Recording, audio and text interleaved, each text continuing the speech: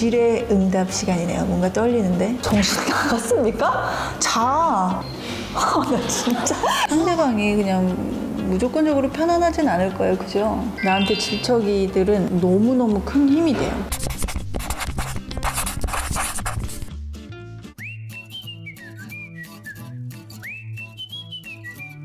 여러분 저예요 얼마 전에 커뮤니티에다가 윤혜진이한테 궁금하실 것도 없을 것 같은데 이제 다 알아가지고 질문을 받았는데 너 어떡할 거야 50 몇 페이지가 나왔어 그래서 제가 읽기는 다 읽었는데요 여러분. 보니까 질문이 되게 반복되는 질문도 많고 언니에 대한 바램 이런 건 다 뺐어요. Q&A니까. 질문과 답이란 얘기죠. 궁금한 거 물어보신 거 그 순으로 제가 대답을 해보도록 하겠습니다. 질의 응답 시간이네요. 뭔가 떨리는데 밀라와 마일로 언니가 스스로에게 힘을 줄 때 말해주는 가장 사랑하는 한 줄은 무엇인가요? 잘하고 있어. 이 몇 년 동안은 가장 저에게 힘이 됐던 한마디 같아요. 나 너 잘하고 있어. 누가 이렇게 하니? 너 진짜 잘하고 있어. 왜냐면 나도 내가 뭔가를 열심히 하고 최선을 다해 살지만 그게 답이라는 건 없기 때문에 나도 내가 잘 해 나가고 있는 건지는 사실 모르면서 그냥 무작정 열심히만 살려고 하는데 그럴 때 누군가 옆에서 혜진아 너 진짜 잘하고 있다. 이 말을 해줬을 때, 어, 갑자기 울컥해, 왜 그래?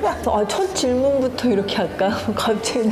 혜진아, 잘하고 있어? 그 말이 별거 아닌데, 확신 받는 느낌? 그래서 저 가끔 저한테 얘기해요. 진짜 잘하고 있다고. 김현진님, 언니는 우울하거나 기분이 다운됐을 때 어떻게 푸시나요? 언니만의 방법이나 힐링 포인트가 있으신지 궁금해요. 저는 우울하거나 기분이 다운됐을 땐 한없이 우울해하고 아무것도 안 하고 다운돼 있어요. 그것도 어느 정도는 즐겨요. 우울하다고 해서 그걸 피해가지고 뭔가를 하려고 한다고 그때 그 감정이 나아지는 게 아니더라고요. 그래서 우울하거나 기분이 안 좋거나 할 때는 그냥 그 기분 그대로 아무것도 하지 않고 우울해 있어요. 그러면 어느 순간 그냥 다시 제 저 스스로한테 그냥 정말 계속 언제까지 이러고 있을래? 약간 이런 생각이 딱 들면서 그냥 한번 정신이 ปุ๊ 이렇게 될 때가 있더라고요. 평소 1일 1식으로 관리하신다 들었는데 시간대 상관없이 그냥 드시고 싶을 때 먹고 싶은 메뉴 양껏 드시는 건지 궁금해요. 그리고 한결같이 몸매 유지하시는 방법도 궁금해요. 제가 라이브 실방 때도 많이 말씀드렸고 했던 건데 1일 1식을 그냥 의도적으로 한 건 아니고 발레단에 다닐 때부터 습관이 된 거예요. 되게 오래전 한 20년 습관이 된 건데 발레를 하기 전에 음식을 먹으면 여러분 밥 먹고 뛰면 배 아프시잖아요. 그런 거랑 똑같이 저는 속이 부대껴가지고 그냥 열량 높은 군것질 뭐 아니면 과일 같은 걸 먹고 연습이 다 끝난 후에 한 끼를 되게 막 푸짐하게 먹거든요. 지금까지도 그 습관이 된 거예요. 그래서 저는 한 끼를 먹는데 먹고 싶은 거를 다 먹어요. 한 끼. 그리고 군것질도 해요, 중간중간. 그리고 한결같이 몸매 유지하는 거 저는 운동을 계속 해요. 운동을 하고 발레 바 있죠? 바는 정말 거의 매일 하려고 되게 노력을 해요. 고양이는 야옹님 발레리나 윤혜진이 다시 무대에 서는 걸 너무나 보고 싶어요 아직 은퇴도 하지 않았다고 하셨고 복귀를 계신지 혹은 복귀에 대한 혜진님의 현실적인 궁금해요 맞아요 저는 은퇴 무대를 해본 적이 없어요. 은퇴를 한 적이 없어요. 그냥 결별 고별 무대 고별 모나코 발레 결별 뭔데 모나코에 가기 전에 그 고별 무대를 국립발레단에서 했었고 제가 은퇴 무대를 한 적은 없어요. 근데 그게 좋은 것 같아요. 은퇴 무대를 해버리면 영원히 죽을 때까지 이제는 무대에 선다는 희망 꿈도 희망도 없어지는 거잖아. 근데 지금도 뭐 복귀라기보다는 그냥 한번 무대에 한 어쩌면 서야 되지 않을까라는 생각을 항상 하고 있는데 현실적으로 불가능하다는 거를 사실 내가 얼마 전에 느꼈어요. 항상 제가 언제 무대로 갈지 모르기 때문에 무용수의 몸으로 살고 싶고 무용수의 몸을 유지하면서 어디 가서 나, 내가 떳떳하게 나는 발레리나야라고 해도 그냥 딱 봤을 때 정말 발레리나의 비주얼을 그렇게 떳떳하게 하고 싶어서 관리는 하는데 얼마 전에 사실 되게 큰 공연에 제이가 왔었어요 몇 번. 그래가지고 마음은 너무 오케이인 거야. 너무 가고 싶고 그리고 해방타운 이후로 제 발레하는 모습을 너무 많이들 보고 싶어 해주셔서 한번 생각을 해봤어요. 한다고 생각을 하고 막 연습을 하고 그리고 시간 가장 중요한 시간을 내는 거. 근데 그게 사실 현실적으로 쉽지가 않아요. 10살이면 지훈이가 다 컸다고들 하시는데 학교도 이제 가야 되고 근데 그거를 혼자 할 수는 없어요. 아직은 다 모든 걸. 제가 아무래도 오랜만에 다시 무대로 복귀를 한다고 했을 때는 윤혜진이야 이거 있어가지고 대충 하고 싶지는 않아요 또. 제 전공에 있어서는 잘하고 싶은 욕심이 크기 때문에 제대로 해야 된다 할 거면 그리고 할 거면 정말 춤을 춰야 된다 라는 생각이 되게 강하게 있는 사람이어가지고 사실 그게 엄두가 나지는 않 더라고요. 그래서 현실적으로 모르겠어요. 그래서 완전 무대에서 큰 공연을 할지 아니면 우리 유튜브가 있으니까 영상 매체가 오히려 좀 더 접근성이 쉽지 않을까. 저의 춤을 그래도 너무 감사하게도 보고 싶어 해주시는 분들이 많아서 보답을 해야 된다는 생각은 제가 가지고 있습니다. 항상 멈추지 않고 집에서 춤을 추고 있고요. 막 1kg만 쪄도 자기가 되게 뭔가 거북하고 그렇거든요. 그래서 그거를 잠깐만 정신 나갔습니까? 자. 아, 나 진짜. 아저씨! 아, 어떻게 이거 카메라 들고 잡니까? 지금 앞에 내가 열심히 얘기를 하고 있는데. 아, 나 진짜 못해 먹겠네, 이거. 지금 소통하고 있지 않습니까? 지금 제일 중요한. 앞에서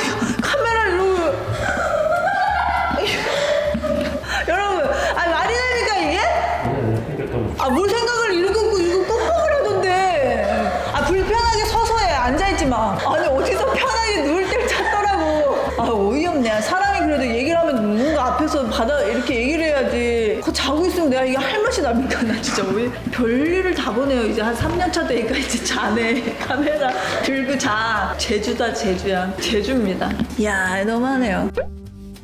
이거는 뭐 질문은 아닌데 읽을게요. 김선희님. 질척이들에게는 힐링이 되는 언니 너무 좋아요. 어쩜 그리 봐도 봐도 너무 좋은지 매력이 정말 어쩔 거예요? 시간이 지날수록 느끼지만 일이 가식 없을 수 있나 싶을 정도로 그냥 읽었습니다. 기분이 좋아가지고.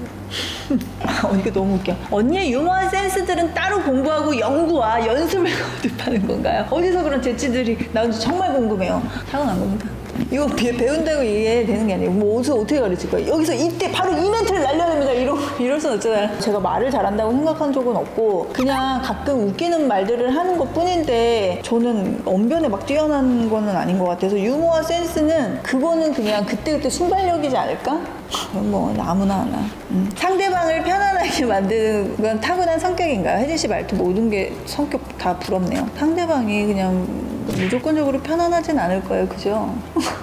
윤님이 아기 시절 지훈이가 제일로 그리울 때가 언제인가요? 옛날 사진 볼 때 저는 근데 사실 지훈이가 그렇게 오빠도 그렇지 않아. 아직도 애기 같거든요, 저는. 10살이지만 저한테는 아직도 그냥 되게 마냥 애기 같은데 문득 보다 보면 얘가 정말 큰 거예요. 옛날 사진, 그리고 말 약간 못해가지고 막 떠듬고 막 세네 살때 막 이럴 때 되게 그리울 때가 있죠.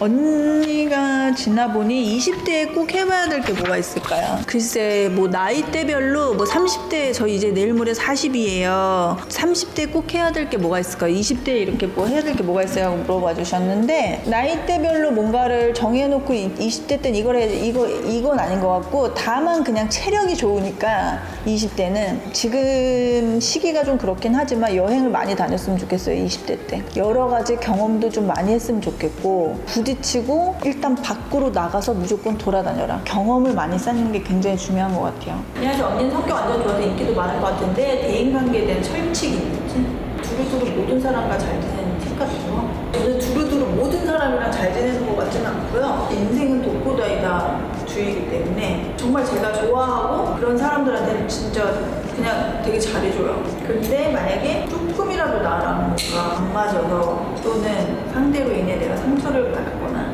좀 그냥 이제는 나이가 있어서 그런지 가족 일 외에 뭔가 그 스트레스 받는 관계가 있으면 좀 그냥 손절.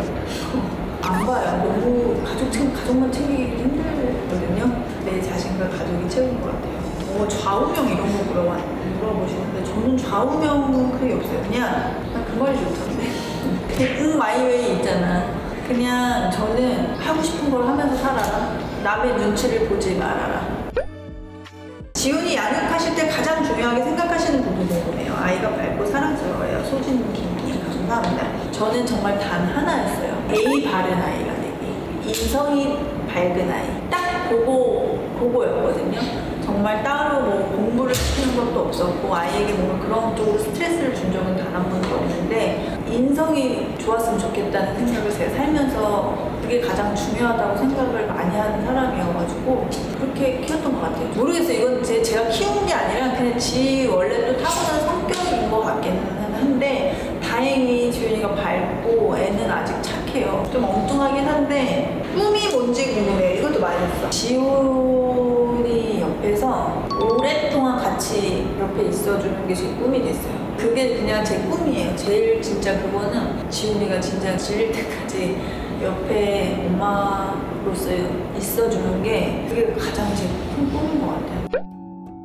해방타운의 모습도 전효진 님이 너무 그리워요. 22년 방송 계획 이것도 엄청 많이 물어보셨어요. 해방타운 하고 난 후에 너무 감사해도 여기저기서 이렇게 이렇게 섭외도 해주시고 너무 감사하게 그러는데 저도 막 다 또 할 수는 없는 상황이고 해방타운처럼 뭔가 제가 잘 할 수 있고 저한테 맞는 저를 찾아주신다면 그럴 때 인사를 드릴 수 있을 것 같아요. 뭔가 확실히 정해지면 제가 제일 먼저 얘기할 테니까 걱정하지 마세요.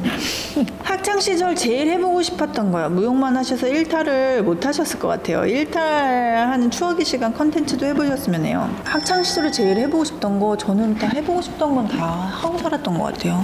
일탈? 저는 했죠.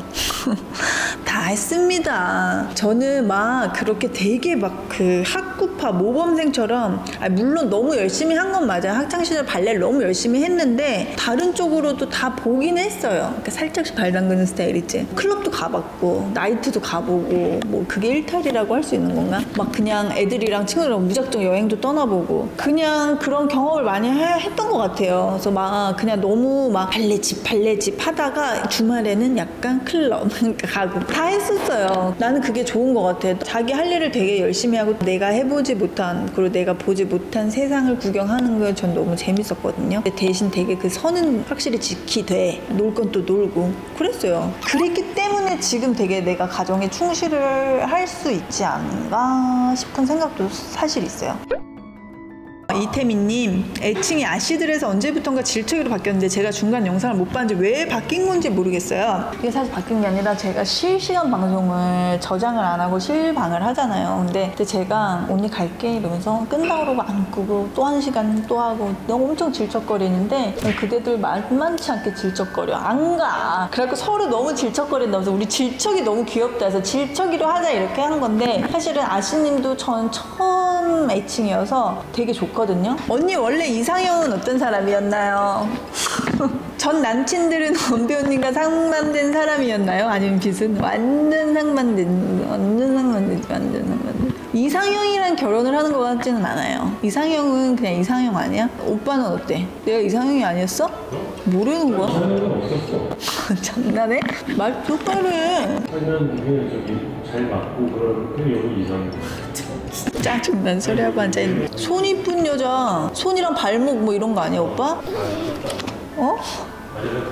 여기 반한 거 아니야. 아 참. 나도 근데 손은 이뻐야 돼 근데 오빠 손이 예쁘거든요. 손은 이상형에 가까운데 아닌데 그것도 아닌데. 그 만났던 사람들이 다 비슷한 스타일은 아니야. 다 다르네 생각해보니까 해방타운에서 본 지원이 멀리 있는 학교 다니던데 이유가 있나요? 우리는 어, 경기도에 살고 있고요. 서울에 학교를 못 다녀요. 근데 서울에서 유일하게 그 사립초 그가 있는데 거기는 경기도민도 추첨을 할 수 있는 기회를 주는 거예요. 아는 언니가 그 학교 너무 괜찮으니까 자기 아들이 둘다 어떻게 다녔는데 우리는 지금 이민을 왔고 너 꼭 한번 추첨해봐라 혜진아. 너 어차피 떨어져. 그거 될 수가 없거든.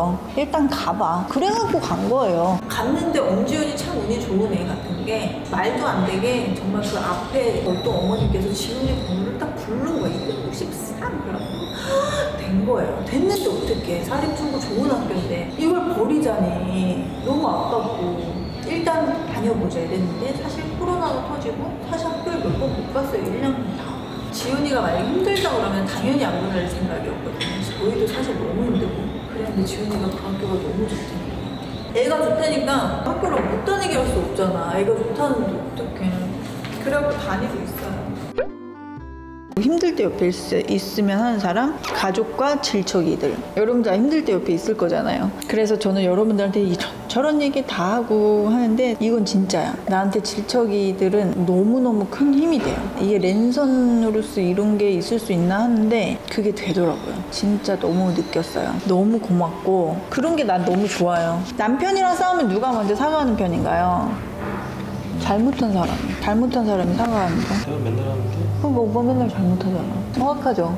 재테크 어떻게 하시나요? 그런 거 1도 몰라요. 아, 진짜 큰일 났다. 우린 그런 건 진짜 몰라, 재테크. 재산이 있어야 하는 거지, 재테크는. 저 재테크할 재산이 없어요. 유튜브 시작하신 거 후회한 적 있나요? 없어요. 전 진짜 단 한 번도 없어요. 이것도 제가 원해서 제가 시작한 거기 때문에 저 후회한 적 없어요. 진짜 너무 좋고 영상을 많이 못 찍는 게 제가 그게 좀 죄송할 뿐이지 저는 유튜브 한 거 너무 좋아요.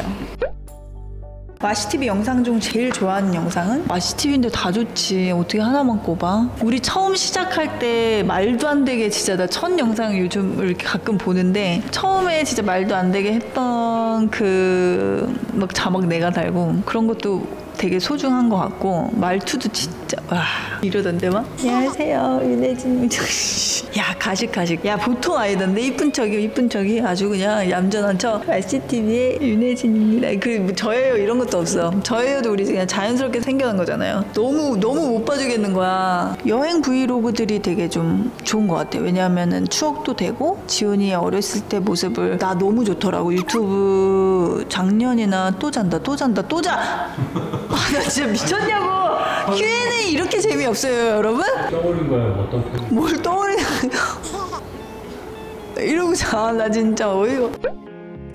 그래서 이렇게 Q&A 영상을 해봤는데 여러분 아 말을 제대로 했는지 모르겠네 오빠 약간 멋있는 말을 해줬어야 되는데 자냐? 어, 자잖아. 아, 여기 꾹뻑거려 자꾸. 그래서 오늘 여기까지 제 Q&A를 해봤습니다, 여러분. 저 감독님 저희 두 번인가 세 번 졸았거든요. 이거 찍으면서 이렇게 재미없을 거여서 나 너무 걱정되네.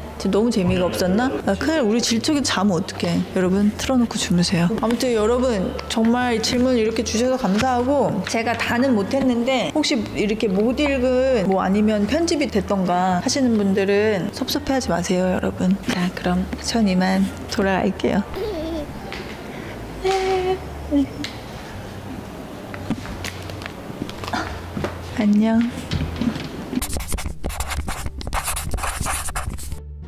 그 춤을 춤 카이 댄스만 보면 집에서 코카인 댄스 맞춘대. 코카인 댄스도 추면서 요즘 유행하는 건 해봐야 되는 거 아닙니까? 이 힙한, 힙한 적인데요.